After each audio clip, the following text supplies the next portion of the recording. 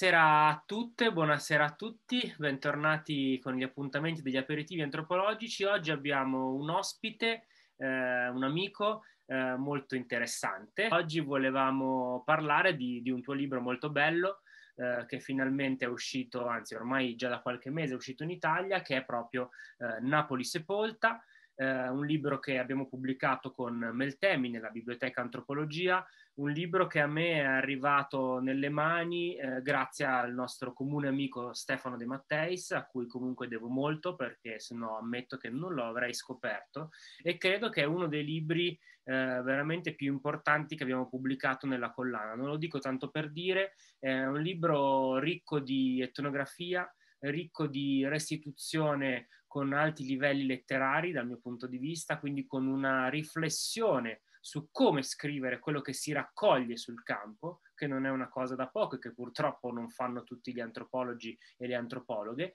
e vorrei partire proprio da questo, cioè dall'etnografia. Poi sveleremo i contenuti del libro, Napoli sepolta, viaggio nei riti di fondazione di una città, ma prima di tutto io ti vorrei dire eh, come hai fatto etnografia.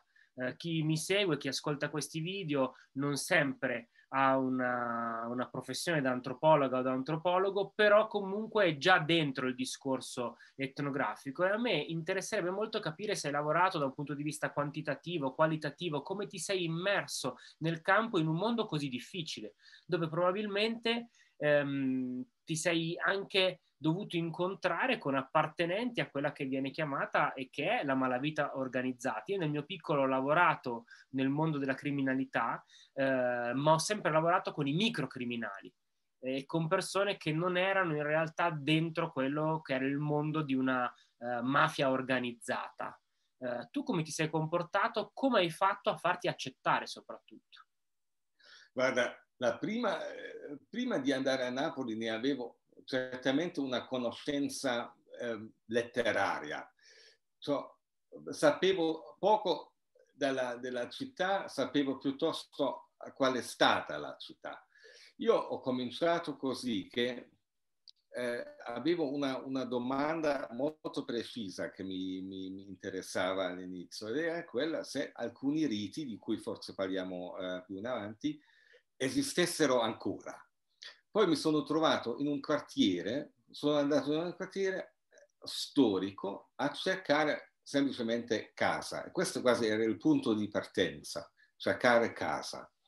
Cioè, ehm, trovare, mi sono trovato una casa, una casa molto semplice, poi anche un basso, mi sono trovato una, eh, un, un, un, po' un vicinato e da lì ho partito. Importante era sicuramente che quello che oh, importante è che quello che nel libro forse può apparire un po' diciamo come una cosa premeditata, in realtà eh, coinvolgeva lunghi tempi, tempi di attesa, come anche fare etnografia e soprattutto aspettare e soprattutto aspettare e vivere i tempi che possono apparire nel momento stesso anche vuoti, cioè dove non succede proprio niente. Um, a Napoli eh, forse un po' a differenza di altri contesti etnografici, ehm, non ho messo tanto tempo per entrare in contatto con certe persone, cioè era sempre con perso- delle persone. Era possibile anche perché eh, subito eh, mi attribuivano un ruolo o mi, mi, in qualche modo cercavano di inglobarmi, perché come straniero che arriva là si forse anche un, un, po' interessante, ma sei anche una risorsa. Una risorsa per alcune, diciamo, per alcune attività o per alcune domande che hanno loro, una risorsa per le cose che, che vogliono o devono vendere, ma anche una risorsa, nel caso mio, perché io ero straniero, provenivo dal nord, provenivo dalla Germania e io mi ricordo bene che già i primi, i miei vicini di casa, c'era una signora che aveva avuto un marito eh, che aveva lavorato in Germania e che lei riceveva ancora lettere pen, per la pensione e non conoscendo la lingua aveva bisogno di qualcuno che tradusse queste, queste lettere. L'ho fatto. Un po' la prima cosa importante era trovare un ruolo, essere qualcuno per gli altri, dare la possibilità che loro possano eh, agire con te. Forse questo è più semplice per un non italiano, in un contesto italiano, perché le, i ruoli che ti possono attribuire sono più, più larghi, sono più vari, cioè sono un po' incon, più incontrollati. E, um, un altro ruolo che mi fu eh, attribuito era quello del missionario tedesco So, visto che anche è un libro che io durante il mio il percorso etnografico mi interessavo molto della, eh, dei riti uh, religiosi, eh, mi incontravo anche con, soprattutto con persone che facevano parte di un'associazione non, o di, di, di, di qualche eh, devozione. E um, loro spesso erano persone che o non leggevano o erano proprio illiter- an- analfabeti, ma per cause strutturali.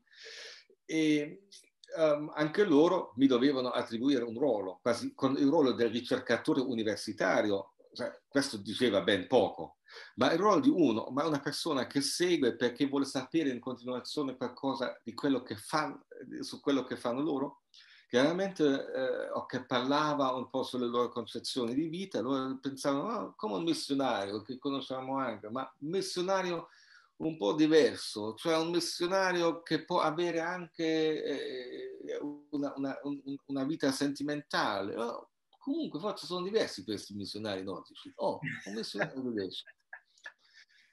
Allora, e questo era... Ehm, era anche un ruolo che poi ho capito che mi proteggeva in questo ambito, cioè che mi dava, un po' mi, mi potevano prendere per, per, uno interessato, colto, ma anche un po' scemo, cioè uno che non sapeva certe cose, certi conflitti, certi conflitti soprattutto uno che non entrava, non si interessava delle attività illecite, cioè loro potevano, ne potevano parlare liberamente davanti a me perché a me era quasi una cosa estranea, non mi, mi potevano vedere come un concorrente o come un poliziotto, qualcosa del genere.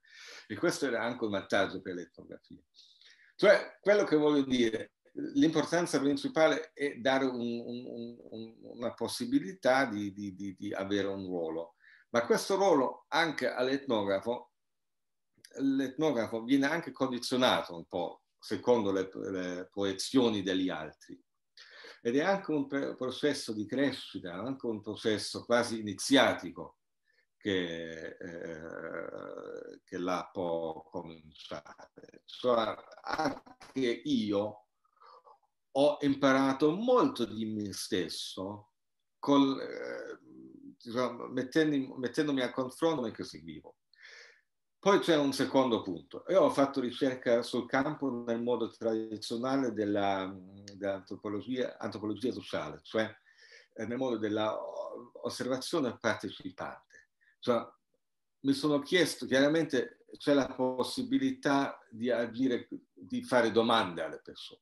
L'ho fatto anche un po' all'inizio, ma le domande di solito non portano, non, non, non, non portano a grandi risultati, anche perché raramente le persone sono molto con, eh, sanno bene quello che vogliono. È anche vero per, per noi stessi, no? non solo per, certo. per, per, le persone che studiamo. E cioè è più importante seguire la, la, vita quotidiana e avere un ruolo nella vita quotidiana delle persone eh, che vogliamo studiare. Um, anche se all'inizio chiaramente mi sono mi sono preparato nel modo che sono andato a studiare un po' diciamo, le, le statistiche su questi quartieri, ho studiato la letteratura, cioè un, un punto importante era quasi leggere quasi tutto quello che mi capitava. Um, però poi era più importante eh, eh, seguire la vita quotidiana. Um, o la vita devozionale, perché alla fine la, questa etnografia è fatta quasi di tre a tre filoni in qualche modo. Cioè, il primo, quella della vita quotidiana in un quartiere tipo la sanità a Napoli, che è quasi, eh, che ho vissuto giorno per, dopo giorno per 14 mesi. La, eh, il secondo è quello della, di una certa devozione per le anime del purgatorio in un quartiere um, un po' fuori dal centro storico, cioè a Secondigliano, e eh, questo, questa devozione in relazione a una, a una veggente un po' fuori dalla città. E questo era un altro diciamo, un campo eh, molto importante, ma là andavo quasi due volte la settimana, avevo i miei incontri diciamo, eh, fissi, come anche gli altri che seguivano questa devozione. Ma e nel... poi c'è anche un altro... Eh, esatto. E poi c'è anche un altro, un altro campo o un'altra zona di questa devozione che si trovava eh, all'inizio del centro storico eh, a San Pietro ad Aram e là andavo anche diciamo, due volte alla settimana. Questi tre campi erano interconnesse, ma non tanto interconnesse per contatti diretti, ma per le to- tematiche che si svolgevano là e là.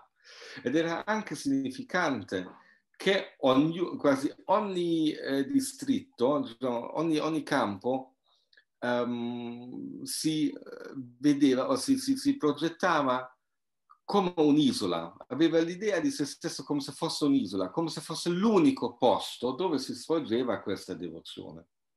Ma in realtà non era così, in realtà anche loro, tramite racconti, sapevano di un mondo o di, un, di, di, di, posti simili, eh, o di, siti simili di, questi, di questo culto che, che, che esistevano in città.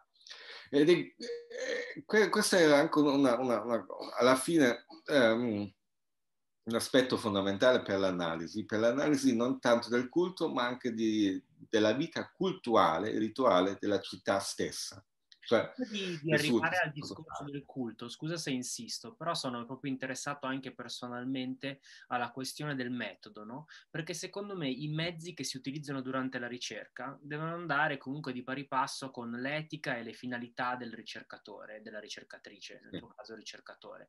Ehm, e visto che insomma il libro mi ha appassionato molto, ammetto che io poi non leggendo il tedesco ho letto la versione tradotta in italiano eh, e, e, veramente mi, è, mi ha colpito, cioè la densità delle informazioni che tu riesci a portare in questo libro. Io sono tanti anni, non tantissimi, tu sicuramente da più tempo di me, però sono più di dieci anni che lavoro in senso etnografico e nella restituzione etnografica e in questo testo ho trovato veramente tanto e quindi mi chiedevo, ma tu hai utilizzato microfoni, macchine fotografiche eh, o cose di questo tipo? Perché la, il mio dubbio che mi viene leggendo il tuo libro è proprio quello della difficoltà di un campo come questo nella eh, possibilità di, um, come si può dire, registrare, archiviare, perché c'è un po' la paura anche, no? Di, almeno a me è capitato quando ho lavorato poi in situazioni molto diverse dalle tue, con spacciatori, piccoli ladri, cioè che il microfono era chiaramente qualcosa che subito li riconduceva, come dicevi anche tu prima, l'avevi già accennato, a ma che sei un poliziotto? Ma perché vuoi registrare? Quindi loro ti avevano dato una figura che era quella, abbiamo detto un po' scherzosamente, ma anche realmente del missionario nordico tedesco che, che, che può avere relazioni. Sì. Però quindi tu come facevi a raccogliere il materiale sul campo? Cioè 14 mesi non sono pochi, non è che puoi ricordarti tutto poi, no?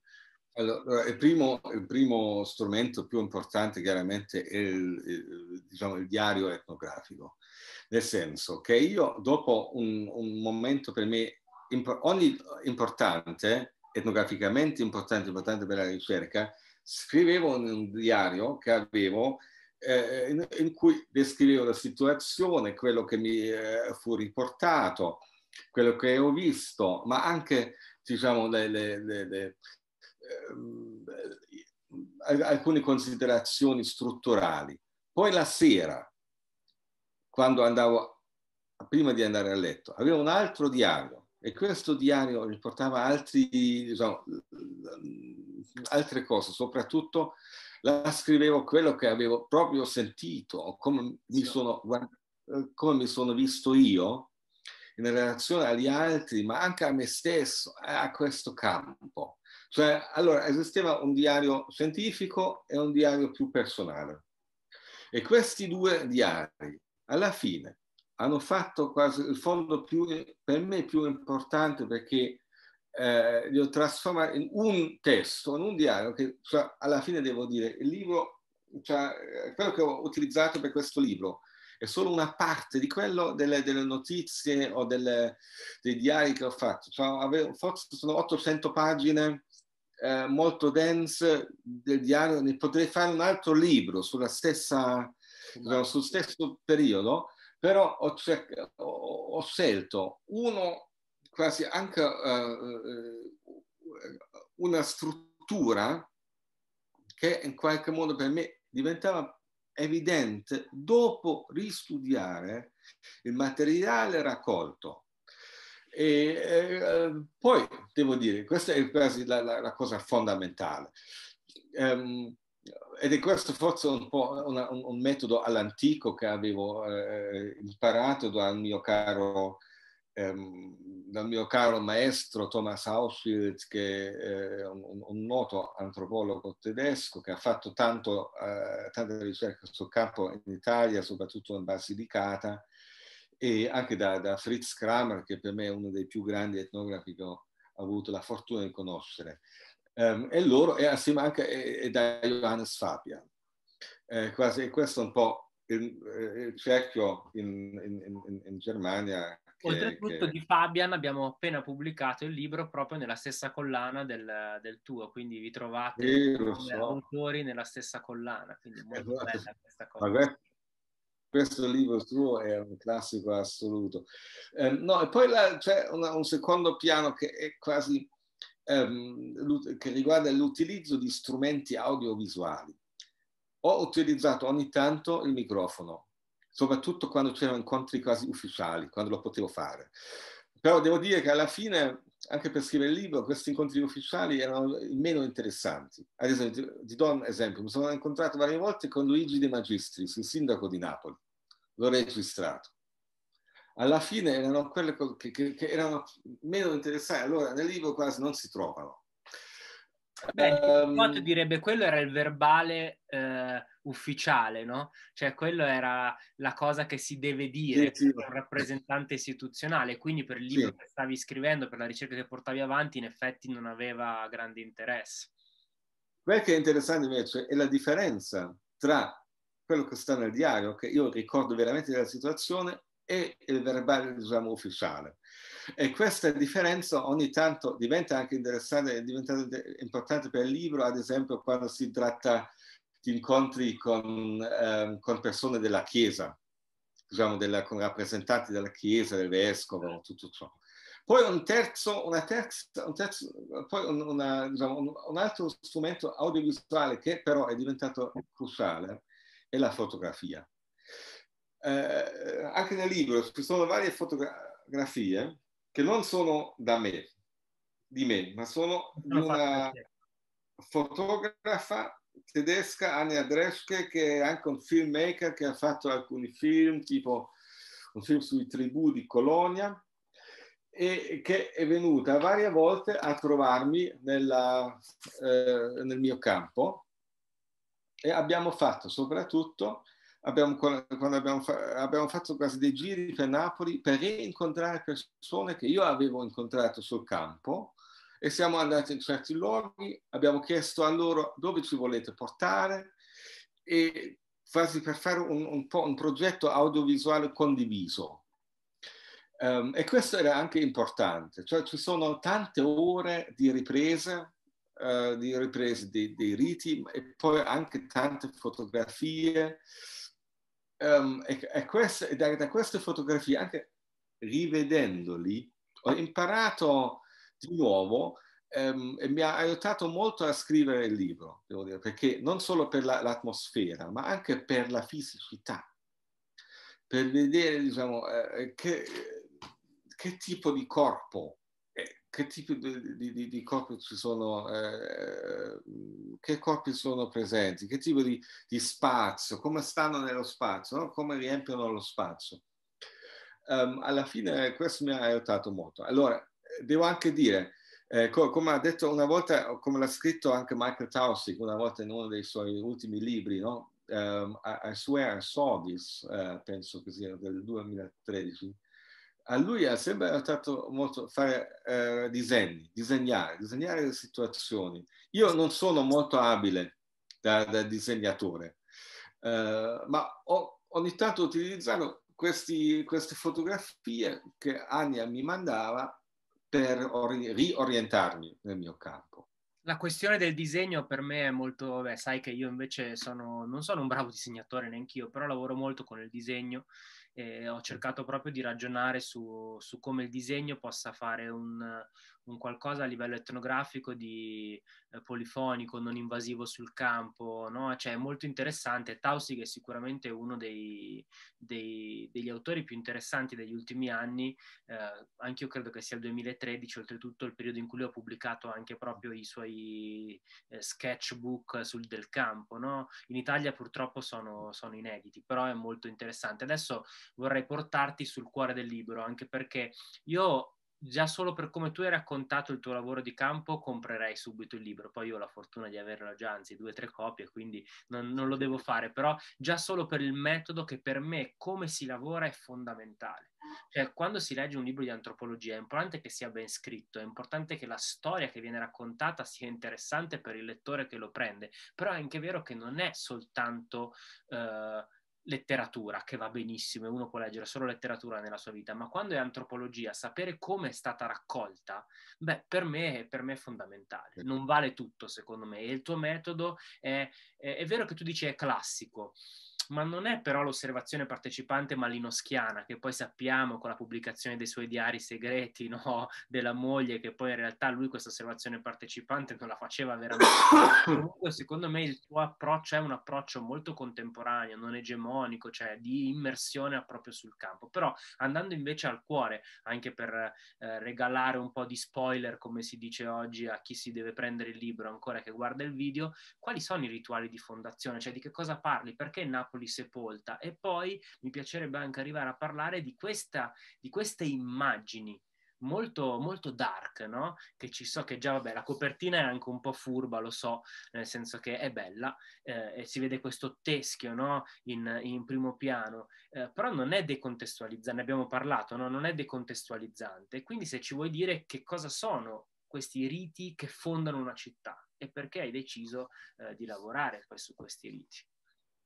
Allora, quello che eh, devo aggiungere una cosa, o devo fare una premessa. Quello che mi ha colpito di Napoli sin dall'inizio è il fatto che è una città vulnerabile, ma base, una città che, no, che, si basa non sull'idea di se stessa come forte o come, diciamo, um, come stabile, quasi non fa questa ideologia, ma si basa proprio sulla sua vulnerabilità e questo è molto è sulla sua fragilità. E questo è forse il punto di partenza, perché quel che mi interessava era trovare, ritu- trovare riti, trovare metodi, diciamo, quello che è, fa la cultura, ehm, e, e, vedere in quanto questi riti ehm, davano alle persone, ma a tutti gli abitanti della città, la possibilità di um, quasi di formare i loro legami e la loro materia prima. Diciamolo anche così, all'inizio della vita, no? prima di fare qualcosa, prima di avere potere, di esercitare potere su qualcuno, prima ancora di, um, diciamo, di, di utilizzare la vita di un altro prima ci deve essere questa vita come forma, cioè, prima deve essere la vita che viene utilizzata. Allora noi diciamo che di solito la vita comincia con, eh, con una persona che viene concepita, che nasce, che poi fa parte di una famiglia. E questo spesso prendiamo come eh, diciamo, la situazione naturale. La persona che nasce ha anche una, un legame parente, di, di parentela con altri. E anche questo vediamo come naturale. E poi viene tutto questo, quello che è cultura, la scolarizzazione, diciamo, la, la, formazione, no? È quello che diventa uno, la politica. Ma in realtà, e noi ce ne rendiamo spesso conto, guardando bene a, a una realtà circoscritta, ehm, anche la parentela è cultura. La parentela non procede, diciamo, la cultura, ma fa parte della, della cultura in quanto la cultura è l'autoinvenzione quasi dell'uomo. L'uomo non può fare altro che cultura.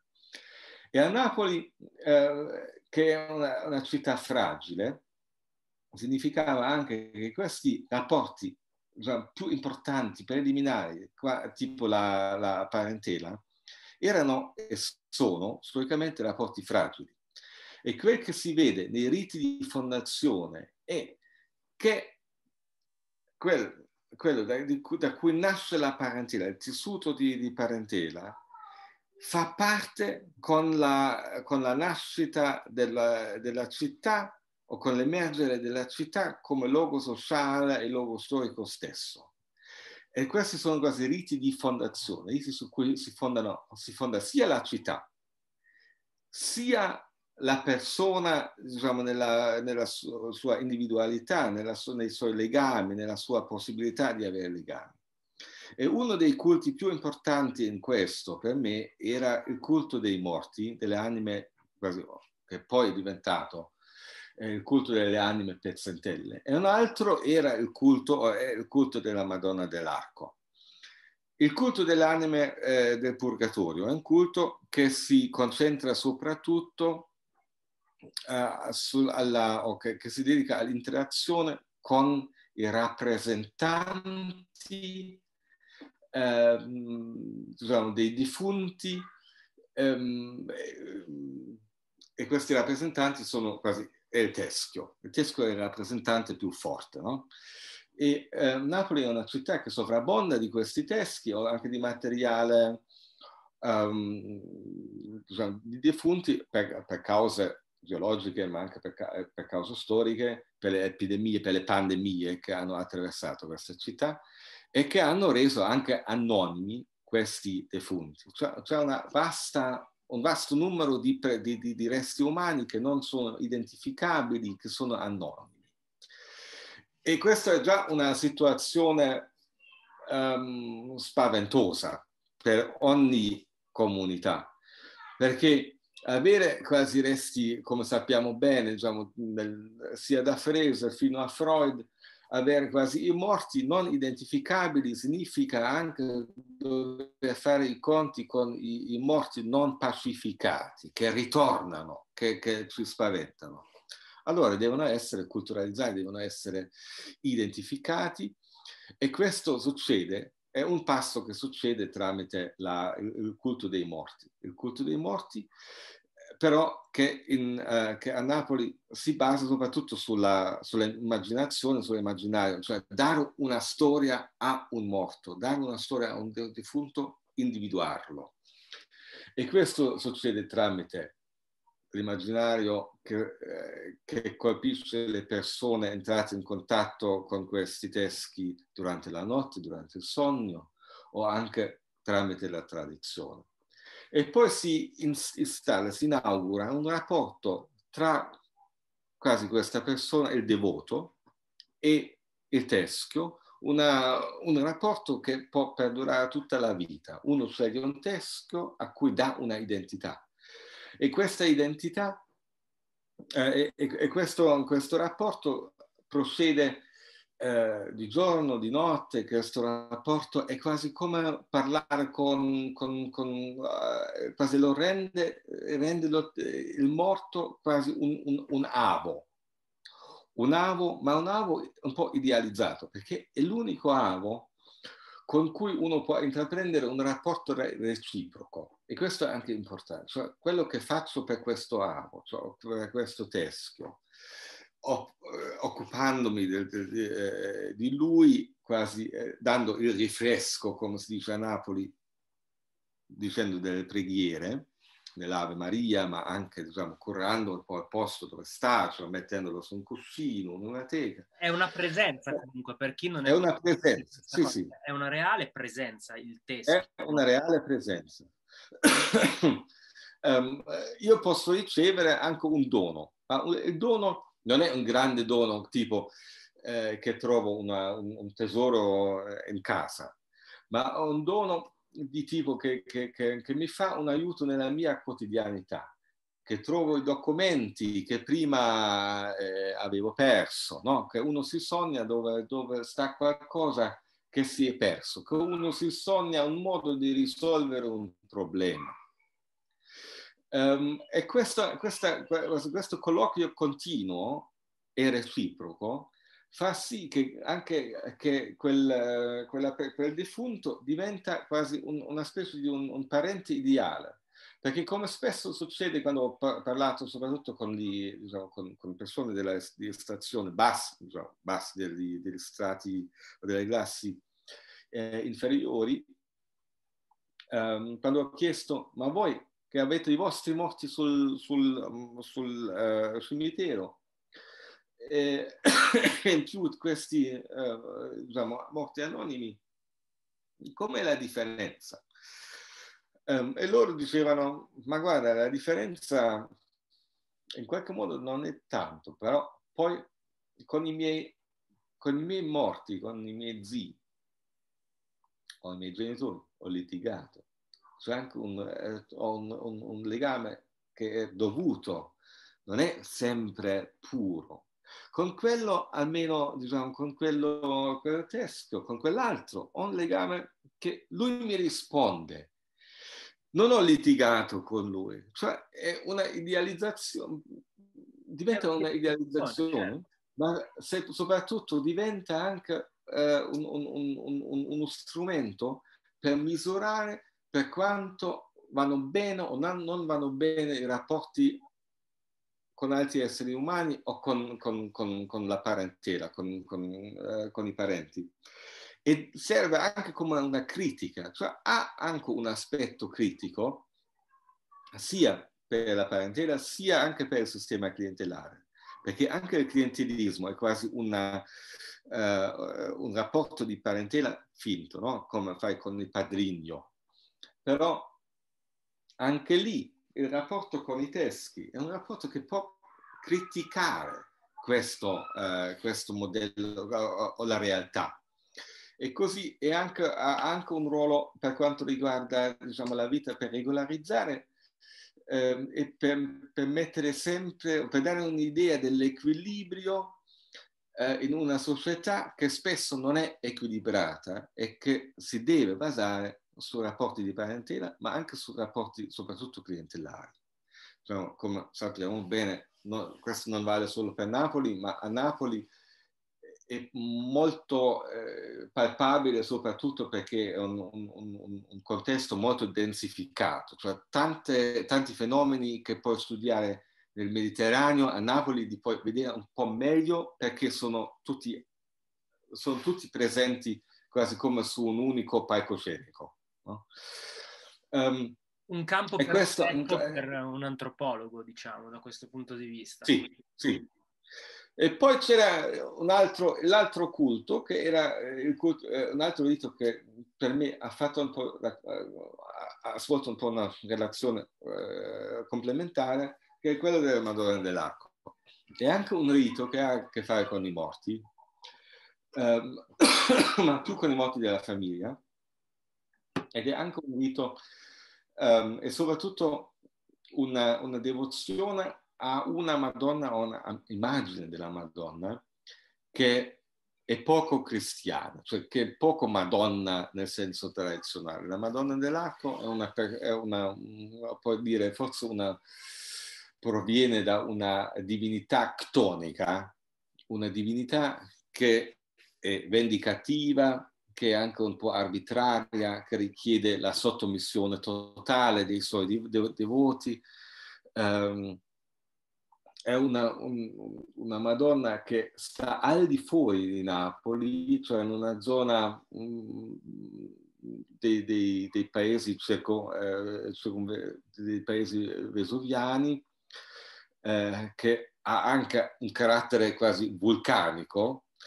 Um, e questa Madonna è molto presente, quasi in, eh, almeno le rappresentazioni di, di, questa Madonna sono molto presenti a Napoli stessa. Qui sono delle associazioni che si formano in ogni quartiere, ci sono 5, 6, 7 associazioni di questo tipo. Um, ogni associazione ha una piccola cappella, là si trova un'immagine di questa Madonna che, che, è quasi una copia di quello che si trova al di fuori di Napoli in, in quel santuario di Santa Anastasia e queste persone quasi eh, ehm, richiedono oh, la, la, esprimono la devozione, la sottomissione a questa Madonna e questa Madonna naturalmente fa dei miracoli. Ma i miracoli, quando si vede molto, eh, quando si vede, vede, più in dettaglio, eh, i miracoli sono soprattutto miracoli di fondazione delle famiglie, che sono miracoli che inaugurano e ehm, stabiliscono i rapporti che esistono tra la persona singola, la sua famiglia e il luogo dove abitano, cioè il luogo, il, la, la, il territorio. E questo è soprattutto importante per eh, le classi meno abbienti, cioè, soprattutto importante per chi eh, fa parte del cosiddetto so- sottoproletariato, perché la forza, loro for- la forza di loro è la parentela è in più la parentela radicata, cioè che non possono essere espulsi, no? Quasi sono classi che è come se fosse un collante sociale che crea delle, sì. delle, delle reti proprio, no? Sì, e che, che, che regge anche contro diciamo, tentativi di, di, di, gentrificazione fino ad oggi. Cioè, Napoli è una città che non è gentrificabile, eh, diciamo, soprattutto eh, confrontata ad, ad, altre città europee, quasi a Napoli, al centro storico, non è gentrificabile, ma anche non è gentrificabile. Forse anche un po' la città, insomma, io non vivo in città, ma la città vicino a casa mia è Genova e Genova da questo punto di vista ha delle similitudini interessanti, non dal punto di vista del rito di fondazione, ma dal punto di vista che il centro storico è uno dei pochi d'Europa che in effetti ci sono delle prove, eh, cercano di gentrificarlo e di svuotarlo eh, da eh, quello che sono le classi appunto meno ambienti, no? Cioè diciamo che le città, ormai il centro storico delle città quasi in tutta Europa è legato o alle classi più alte, ai, alle persone più benestanti o ai negozi. E quindi la notte sono vuoti a quelle che sono le comp, le sedi delle banche, le compagnie e cose varie. Comunque io ti ringrazio tantissimo perché, ripeto, eh, questo libro di Urlich Van Loyen, senza il der, è un libro fondamentale e io credo che è veramente uno sguardo su, su Napoli estremamente eh, interessante e dipinto. Cioè, io non so, leggendo questo testo è come se avessi visto anche l'opera di, di un pittore. Cioè, secondo me tu sei stato proprio, hai, hai creato degli affreschi eh, letterari e non soltanto etnografici. Quindi io sono rimasto veramente entusiasta di questo testo. Ma prima di salutarci, anche se insomma è già un bel po' che parliamo, eh, lanciamo l'ultima, l'ultima piccola perla che è quello che bolle in pentola. So che stai uscendo in Germania, purtroppo ancora non in Italia, ma io spero di poterlo pubblicare sempre con Meltemi, vedremo se ce la faremo, un libro nuovo, che anche questo è particolare e soprattutto ha come focus uh, l'Italia.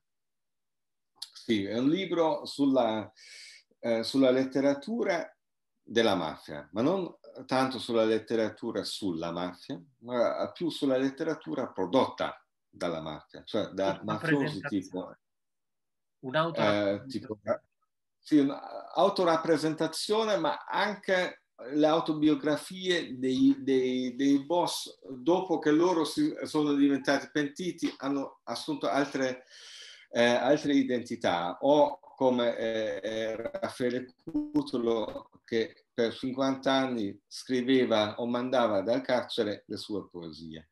Quel che mi interessava era la nozione o l'idea che le tre mafie più importanti italiane sono eh, quasi all'inizio erano più come circoli, circoli letterari. Questo vale per la, eh, per, per la mafia napoletana, eh, parlamentare, che si basa sui Beati Paoli, a cui Umberto Eco ha, ha dedicato un bellissimo saggio, vale per l'andrangheta e per la procreazione di, questa, di questo mondo eh, per, la, per il melange che esiste tra questo mondo contadino e la tradizione della uh, massoneria liberale uh, torinese e vale anche soprattutto per Napoli e per la, per la storia della Camorra. Poi ho visto un po' quasi come queste tre mafie utilizzano i modelli letterari per la loro autolegittimazione, anche per rappresentarsi come gruppi folcloristici, sempre davanti al, al giudice, cioè l'argomento è che noi facciamo solo come eh, se facessimo un reenactment di una letteratura preesistente.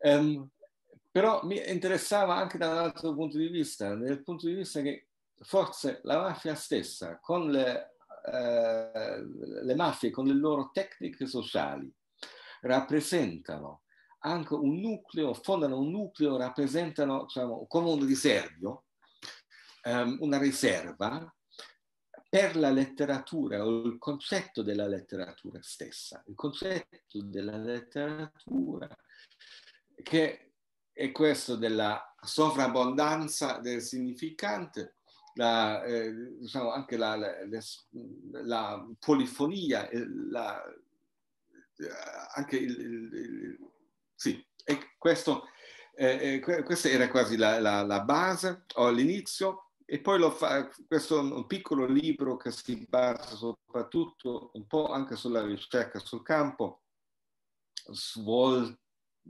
a, eh, a Polsi, San Luca, sempre durante alcuni anni.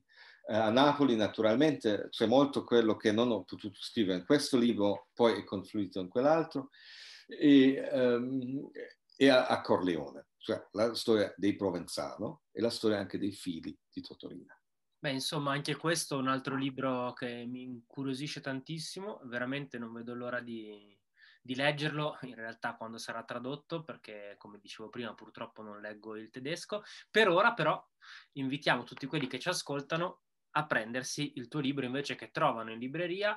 Eh, consigliamo, credo che tu sarai d'accordo, di andare in libreria se potete, insomma, se non avete problemi a uscire, è meglio se andate a supportare delle librerie, perché così comprando il libro, oltre a supportare la casa editrice e minimamente l'autore, perché noi autori siamo quelli che ci guadagnano di meno dai libri, però è importante che ci siano questi presidi culturali che resistano in vita e aperti in, in tutto il paese. Quindi eh, andate a cercarvi Napoli Sepolta, se non c'è fatevelo ordinare e grazie a Urlik van Looyen per tutto il tempo che ci hai dedicato.